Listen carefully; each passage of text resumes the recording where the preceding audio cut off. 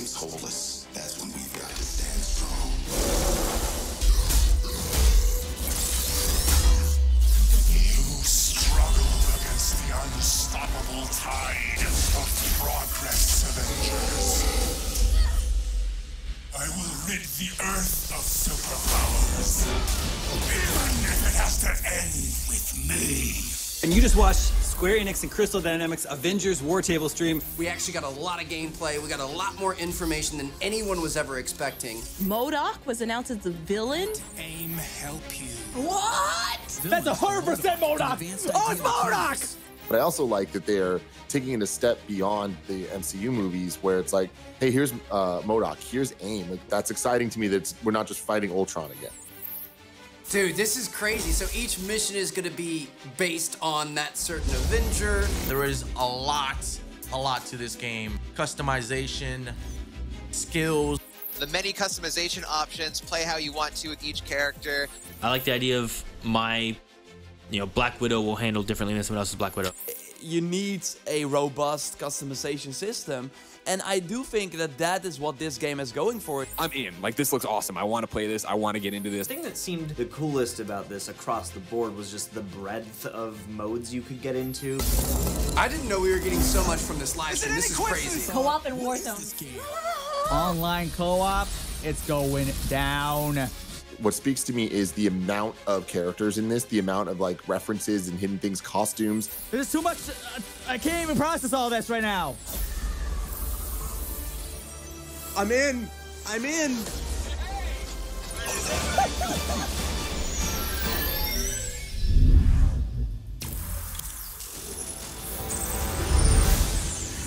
Welcome to the July Marvel's Avengers War Table.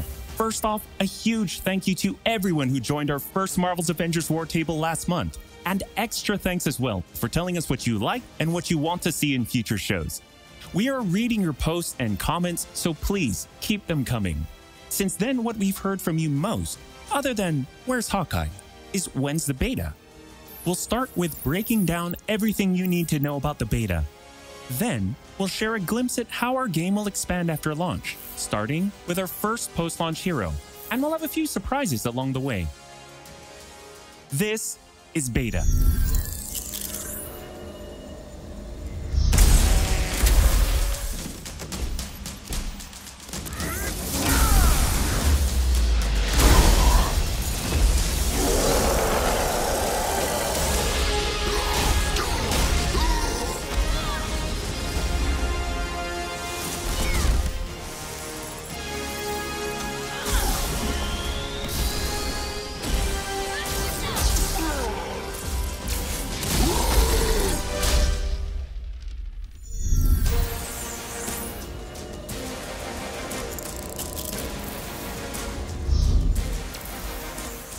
The beta opens with the entire Golden Gate Bridge demo, dropping players into the middle of the chain of events that led to the A-Day disaster. This is 25 minutes of gameplay and a great introduction to how each hero plays and how combat and traversal work. We built the Golden Gate Bridge sequence to be this roller coaster ride of an experience, with huge set pieces, tons of combat and traversal, and a Taskmaster boss battle. It's also a chance to try out many of each of the heroes' special combos, heroics, and specific moves. From there, the beta starts to open up just like the full game does, giving you new single player hero missions and eventually single player or co op war zones to discover. As Kamala and Hulk, you'll travel to the dense forests of the American Pacific Northwest on the trail of the Olympia Archive, the last known location of Jarvis. This is another example of a hero mission showcasing Hulk's destructive capabilities. Later, you'll take the Quinjet to a remote war zone in the frozen Russian tundra called Missing Links to uncover S.H.I.E.L.D. secrets hidden deep underground. We chose these missions for the beta because they feature a diverse mix of locales, from wide open spaces for you to bound through and explore, to underground AIM complexes bristling with high tech security at some, let's just say, smashable interiors. You can expect heavy resistance whichever beta missions you play, including a showdown with Abomination. What you got there, Cricket? You should test everything that you've learned so far. It was really important for us to create a beta with a variety of experiences that show off the epic scale of the game. So these missions give you a look into the world of our story and our characters, which sees a young Kamala Khan stepping up against AIM to reassemble Earth's mightiest heroes when the world needs them the most. Looking sharp, guys.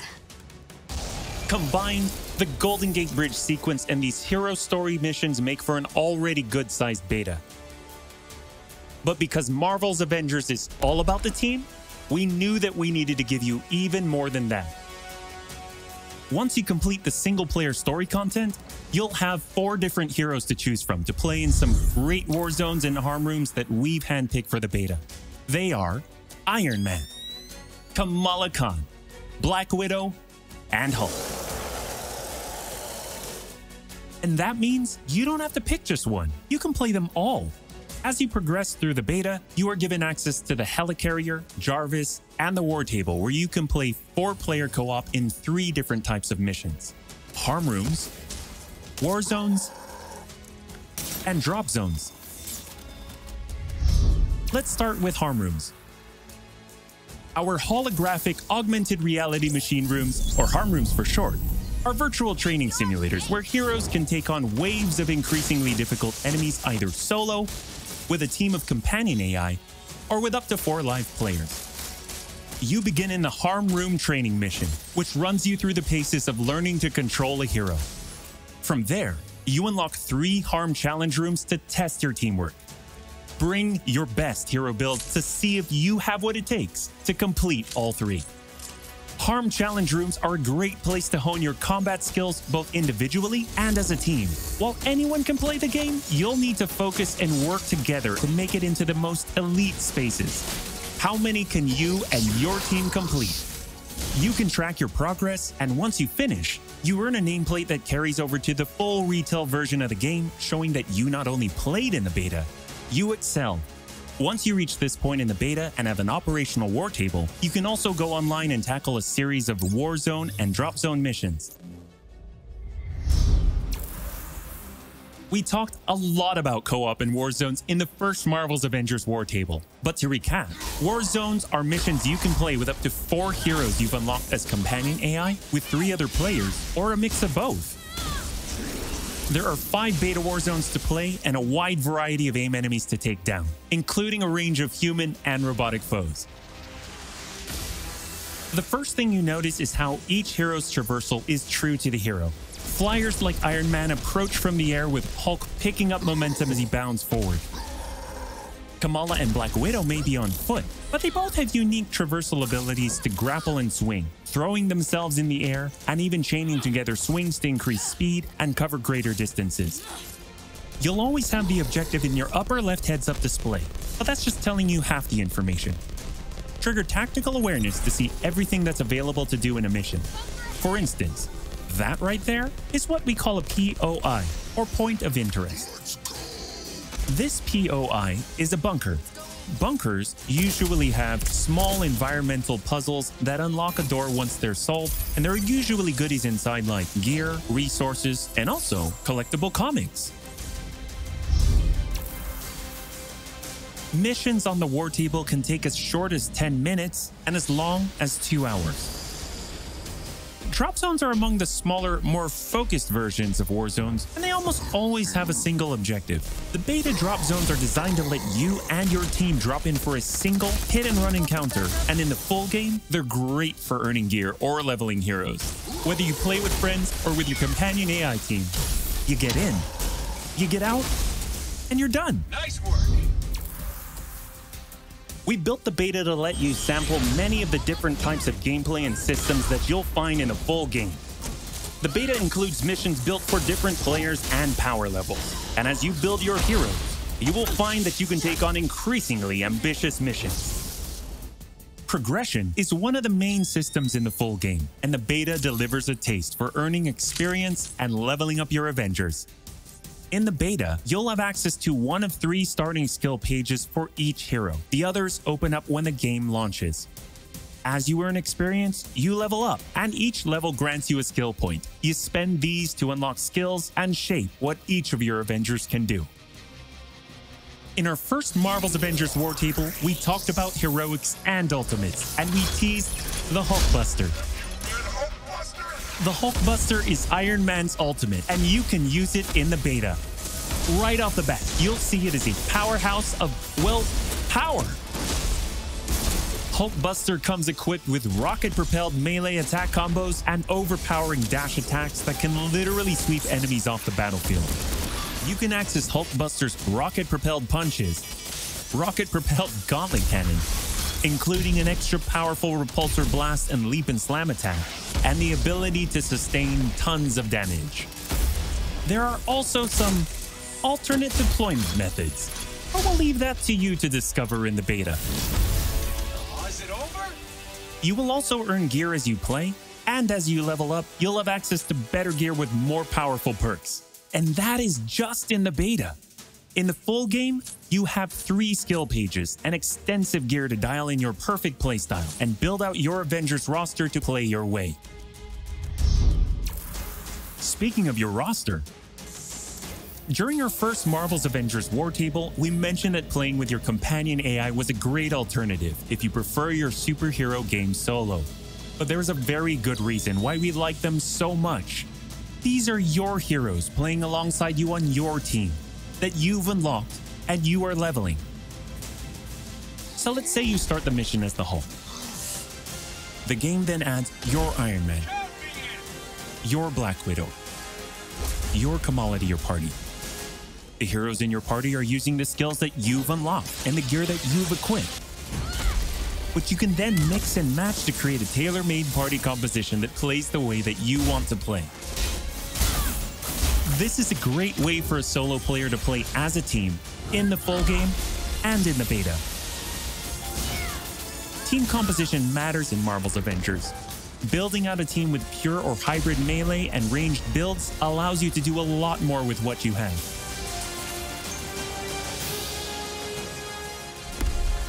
This was a quick overview of the beta.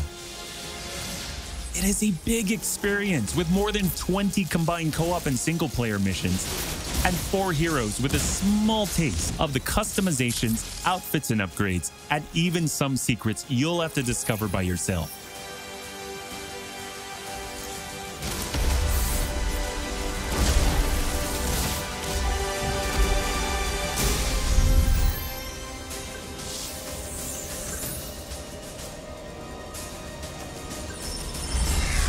The very start, we planned Marvel's Avengers as an experience that grows with you as you play. The heart and soul of that is each Avenger, and as fans ourselves, we've handpicked some of our and your favorite heroes to join the team after launch. Heroes like this.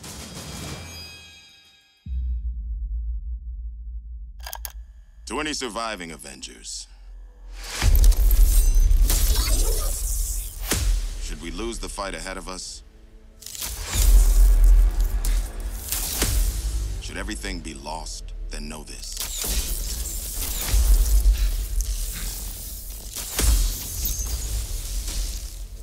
The key to saving our future lies in the past. Clint? Well, I guess that explains the shock arrow. And the bow. And the sea of emotions.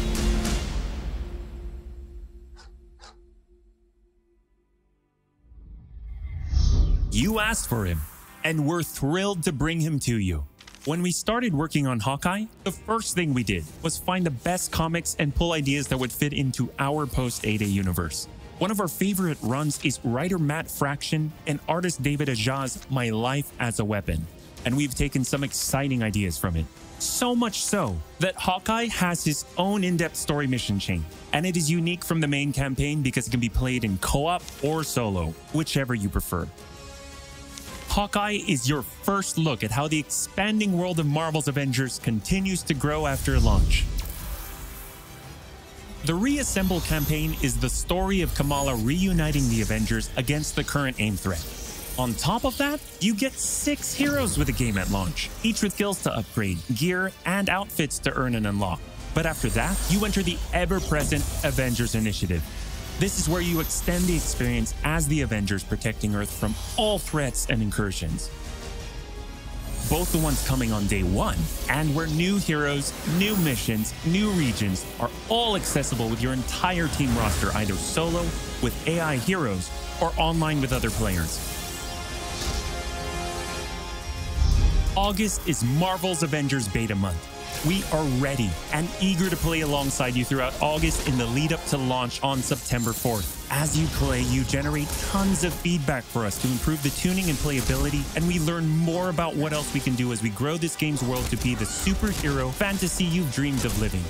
That's why we can't wait for you to get started and play what we've been playing. When you get your hands on the beta yourselves, dive into the story, jump online and play with friends, all starting on August 7th through 9th on PlayStation 4 and PC and Xbox starting August 14th.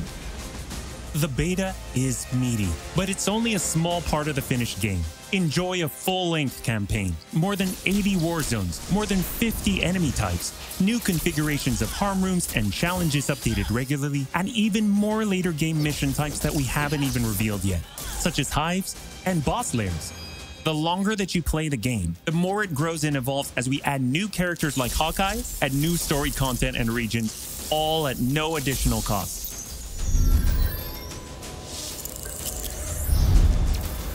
Oh, and one more thing. We're also excited to reveal that we're working with Epic Games and the Fortnite team. So when you finish the Marvel's Avengers beta, you will earn the Hulk Smasher's pickaxe with bonus Hulkbuster style in Fortnite. For more details, visit Fortnite.com.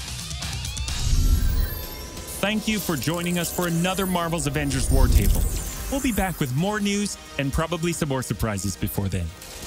Thank you so much, and we'll see you in the beta.